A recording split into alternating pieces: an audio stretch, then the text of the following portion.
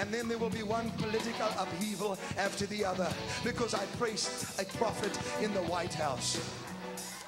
Not a president, a prophet who has stood the test of time and he's exposing all of this without him even knowing it. His anointing is exposing every corruption.